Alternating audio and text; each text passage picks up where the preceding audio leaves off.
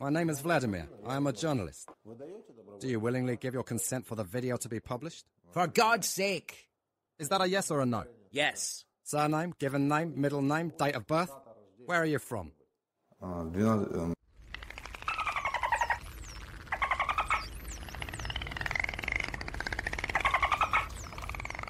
Where did you live?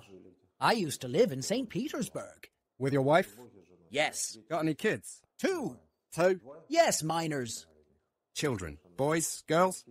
Guys. Guys, who is the oldest among you? My oldest son. He turned 18, and the youngest is 16. An adult. Oh, yes, an adult. So it's time for SEO. No. Why? No, no, no. He has no business being here. Yes? Definitely. Well, It's bad enough my dad's a jerk. you're insulting yourself. Well, because that's the way it is. What, how, and when did it happen to you? Why are you even here? Like this. I had to be present at a court hearing to settle my legal case. To the local police department. The military officer said I could face up to five years in prison. There is a way to avoid it. What court? Well, I got into a fight with my neighbor, and I've been making this proposal. You. I I kicked his butt. His bottom? Yes. What is it with the Russians? Always fixated on details. He called me gay. He also has an obsession. There's something wrong with his head. You hurt his feelings. Yes. Nothing else. Yes. Can you tell me how it happened? I'm kinda curious. What does that mean? He called me, intoxicated, and started hurling insults at me. For what? Well, how should I know? Well, he was drunk. Don't go on. He's renting a room from me. Uh huh. And I said, I'll come right now and talk to you. I approached him and punched him in the face. He, Sasha, I apologize. I didn't know who I was calling. He began to apologize, pleading. In essence, he was in a predicament. I said, God be with you. I calmed down and everything is fine. God bless you. Let's have a drink and then I'll head back to work. I grabbed the vodka, held it, and poured it out. Did you get the vodka? I planned to confront him, but things turned out differently. You thought you'd bump into him in the hallway. Yes, Yes? yes. For courage. Let's put it this way. Well, it turned out to be the opposite. That's a great plan. It turned out to be the opposite. Uh huh. I poured vodka into glasses. Well, here you go. He looked at me and said, I don't drink with homosexuals. What should I do? I took the knife from the chair and thrust it into his buttock. In his butt? Yes. Did he stand with his back to you? No, he was sitting, but I sliced him into four pieces. Let's reenact this. I'm sitting across from you. What's next? I punched him in the side. The transcript provided is incomplete. Please Yes. provide a full transcript of the correction. I got it. Well, The buttock. and it turned out the blade came down and cut his rear. It must hurt. That's normal. Did he yell? Well, he bled profusely. So what did you do? I called the police. Why should I hide? The ambulance and the police were called at the same time. All of this must be done simultaneously. I said yes. He had a stab wound. Both services. Yes, well, wrapped up, taken away. He was wrapped up. Me. That's what. I thought he was bandaged. Is bandaged a slang term? He didn't want to report me, but he was under the influence of drugs. He was taken to the hospital for tests. It turns out he was on drugs. Additionally, he was consuming vodka, and, as I understood, he had mental health issues. You have another apartment in St. Petersburg, right? It's a room in a shared apartment. Communal apartments? Yes, of course. This is an entire company. 18 people. 18? Yes, they still exist. They haven't gone away. St. Petersburg is the cultural capital, isn't it? It's fine. Well, I do not know. I like my communal apartment. I also live in a different communal apartment. We also have a room there. I really like where I live. We have a decent apartment, depending on the one you get. You don't just want to live somewhere, but somewhere where people are polite. A drunk tenant, despite his refined upbringing, verbally attacked you, and in response, you stabbed him. Now you're facing trial. Yes. And you? No, I didn't go to court. And I received a proposal to shut down the business and signed a contract. Who recommended it to you? How did it occur? Military commissar. He's on duty there sometimes. In court? Department of Internal Affairs. Yes, there are many of them out there. They assist people in avoiding court proceedings. Help? Well, let's put it this way. No, would you consider this as help? I believe there's a purge happening. They are attempting to eliminate criminals. In fact, in fact, they're just trying to refill the ranks No. Well, of the occupying army. look at the front line. See who is being sent there. From my draft, my draft. I. Don't interrupt me. Okay? We had a draft of 200 men. We are now leaving Kursk Well, on buses. so, There are 20 men among these, God willing. They're under 40 years old. so, Is everyone else 40 years old or older? Do you consider that a normal army? did I try to convince you that your army is ordinary? What do you call it? Tell me. You have an army of captives, homeless individuals, as well as all sorts of sick, lame, lewd, and beggars. That's right. So everyone seems to know this.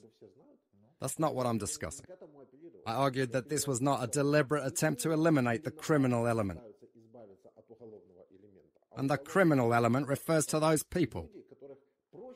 It's easiest to send someone where they usually go. It's acceptable if they're utilized properly. But to simply perish, they discard us in there like meat. Why do you think that is? To decrease the population of Russia. Is the objective of SMO to decrease the population of Russia? So that more, so to speak, favorable people remain. Why does Russia need prisoners? Who are the favored people? The police. Police, and those who shake their heads. Those who shake their heads. Your theory is accepted. I'll pose the question. Why do Ukrainians possess every moral right? And why is it deemed acceptable to harbour hatred towards Russians? Treat them with contempt, disdain, and revulsion. But why? Because we came to you, not you to us. I'm not arguing with that. I don't know the context of what was happening there, or why we invaded there in the first place. However, you've already clarified its necessity for use. No, I'm just saying. I don't understand why we're here. Not for what, but why. A common question is why does one country attack another? I don't understand. I don't understand. A different situation? We were like brothers, visiting each other often. Poles and Germans had a brotherly relationship even before World War II. That's what I'm saying. Only God knows. I don't understand it, so I can't discuss or speculate. This is such a basic question that you don't need much understanding. Why does one country attack another? Probably to take over the territory. Why more? Who needs it? They can't even manage their own land.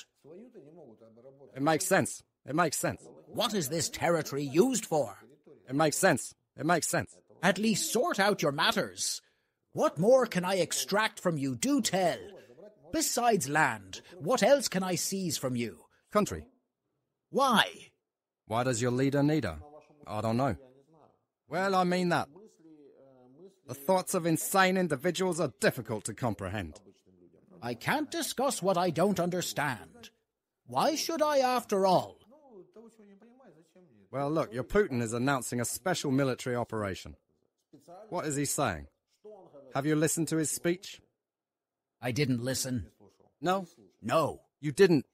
I wouldn't be here if it weren't for, shall we say, this situation. That's all. I understand, but he said regarding some sort of denazification and demilitarization. Demilitarization was an attempt to disarm Ukraine.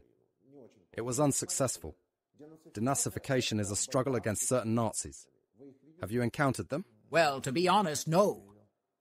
Putin compared you to Nazis. You have to go fight the Nazis. They're not here. So what's the conclusion? Well, I wasn't intimidated. That's his speech. I haven't heard about it. I'll tell you, I don't watch much TV. I didn't have time to watch TV. I was busy working. Now I'm telling you, if it weren't for this situation, I wouldn't be here. That's for sure. I'm against military action in general. What's the point of discussing something I haven't heard of? If I heard it directly from him, yes. Did you hear it from him? I'm saying that I don't know. You went to a war about which you know nothing. You don't even understand its purpose. Basically, yes. Murder? No. Did you shoot someone? I've only practiced shooting in drills. Can you tell me when you took part in the military drill? I need the month and year. October 2023. Where? For three weeks, we were taken to the firing range. Where were you sent after that? I'm already in Ukraine. We already went to the firing range in Popasna. In Popasna? What happened next? Then we went to Bakhmut. Bakhmut? Well, what happened in Bakhmut? Nothing. We have arrived at our destination.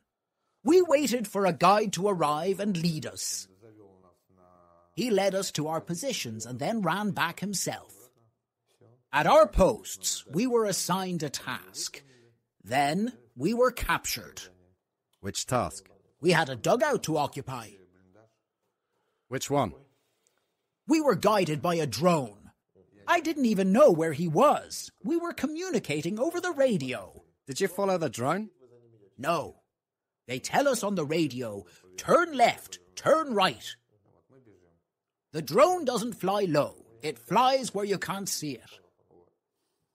We seized control of the empty bunker. We stayed there for a week without water, food, or combat gear. Since I had one assault rifle for two, Why two for one? my partner's drone hit the assault rifle. How is that? He placed it next to the dugout. And the drone dropped a grenade, something like that. The fact is, the assault rifle was not functional. That's why we had one assault rifle between the two of us, and three belts of ammunition. How many people? There were three of us. The third one had ten grenades, but was killed by a kamikaze drone and scattered across the field. He had ten grenades and two D 80 mines, Interesting, as you described as poetic. And he was truly swept across the field. A kamikaze drone crashed into his backpack. He has two D 80 anti personnel mines there. And 10 grenades, 10 RGDs, and 10 F1 grenades. Do you think his body won't be scattered? He was only left standing on his legs, that's all. A kamikaze drone flew right into him. How far away were you from him at that moment? 100 meters. Why are you walking so far away? Is it necessary? So we run, typically maintaining a distance of 15 to 20 meters between us. Uh huh. And since he was already far behind, no one was going to wait for him. Why didn't anyone wait? Keep up or drop out.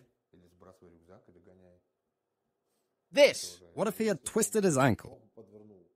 that's all. Exploded on something? In this case, he must wait for a rescue team. Shouldn't you help him? No. We're on an assignment. Do you know how many injured were left in those pits when we escaped? All pleading for help. And they shouted at us, Don't approach anyone! Do the assignment. I did the assignment. Listen, you understand that this is inhumane. I understand. War. In a cruel regime that begins with your prisons. Where can you get hit? Beneath the bed, I'm unsure, perhaps using sticks. As you suggested, or something worse. And it concludes with the mobilization here, where they're gathering everyone they can find and throwing them in there. And find yourself in a battle surrounded by a bunch of wounded. You're running and they tell you not to approach anyone. Our motto is we never abandon our own. And you just abandon your comrades to their fate. The rescue team is on our tail, saving as many individuals as they can. They're doing their best to evacuate as many people as possible. You're looking at the injured. They ran ahead of us. They just didn't make it. Some of them were taken down by a drone. There are hideouts there. They take shelter. That's it.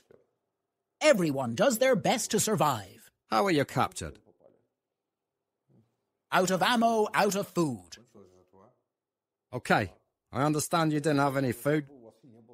Well, basically, yes. Food was stored in the bunker, in the dugout. There was food there. Yeah.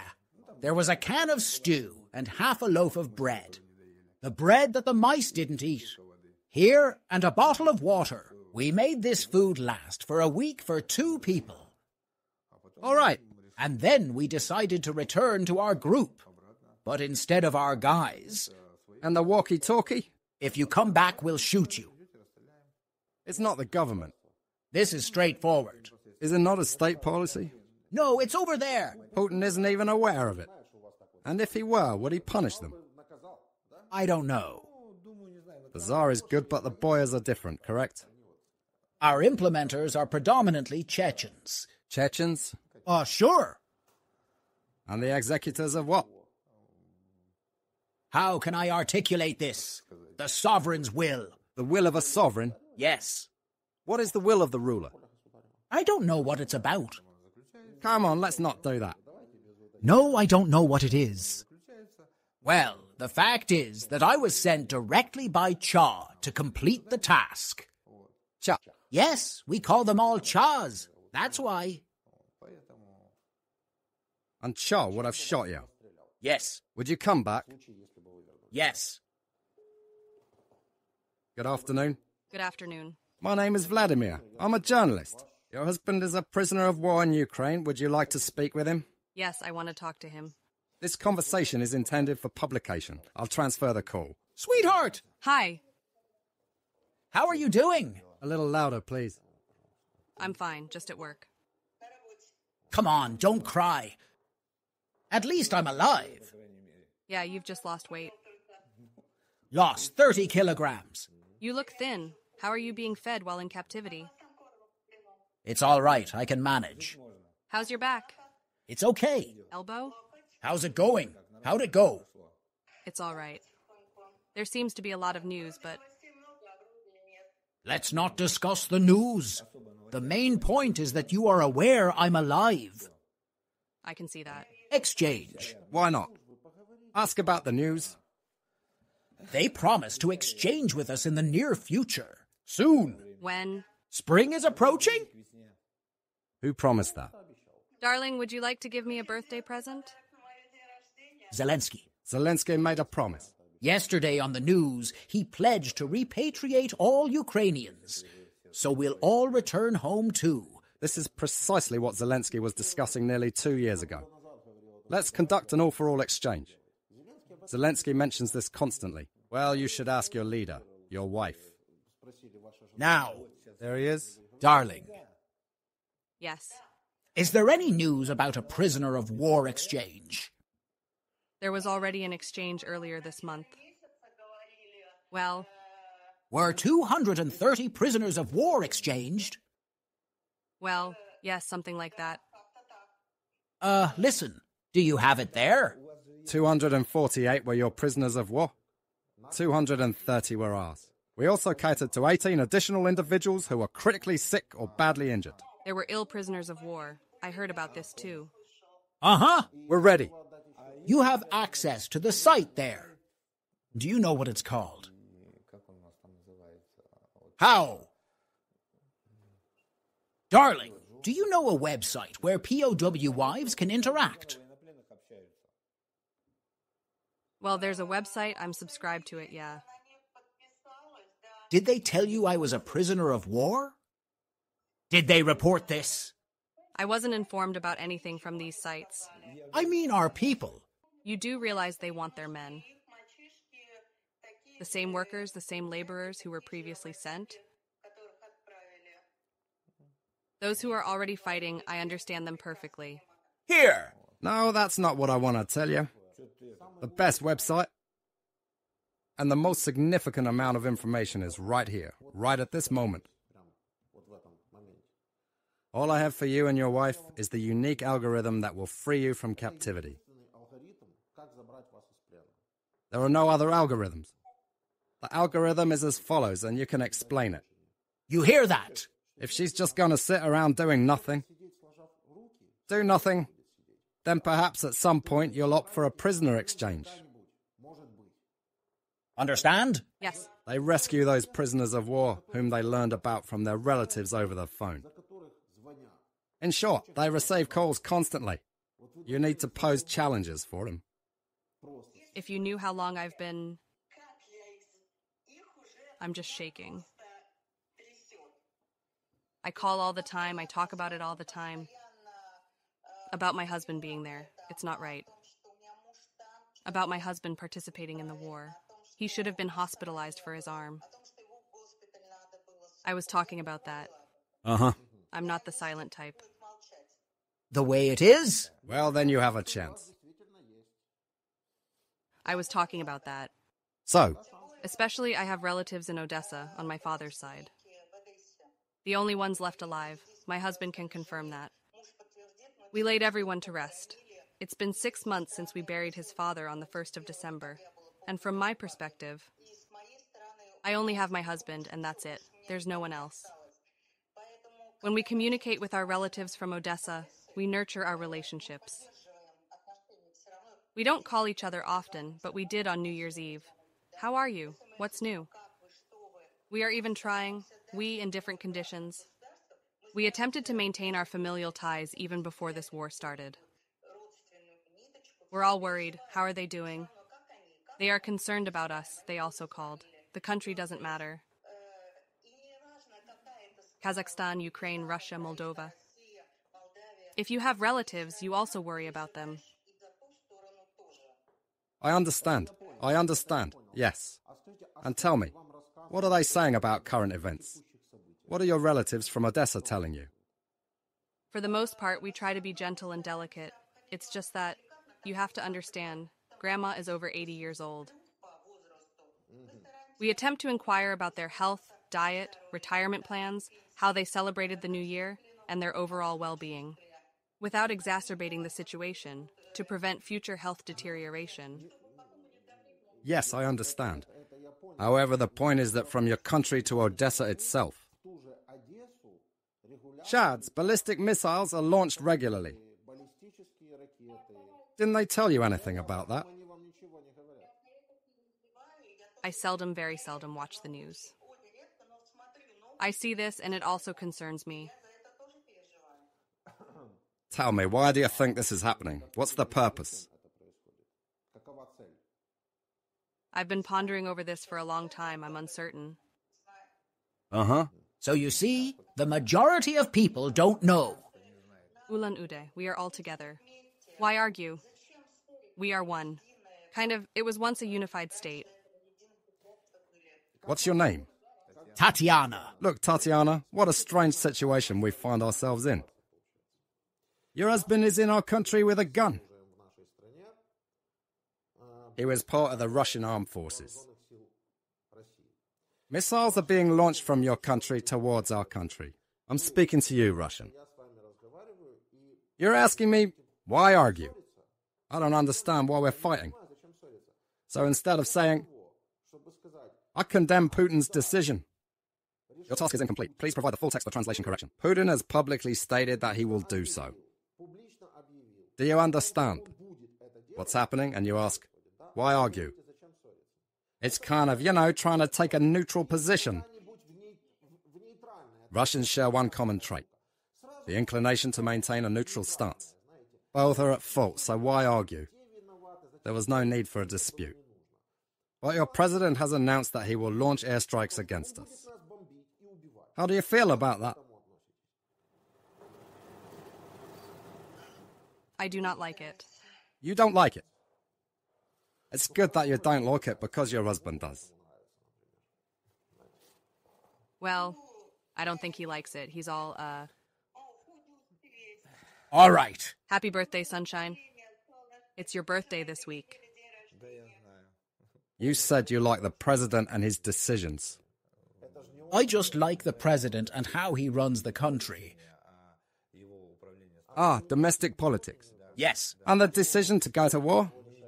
That's what I don't understand. But do you condemn it? Do you condemn the war? War, yes. Well, that means his decision. In the beginning. I don't know what it was. I can't. How should I put it?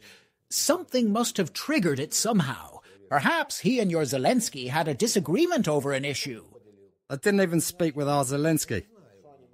You think they're not communicating, but maybe they still are.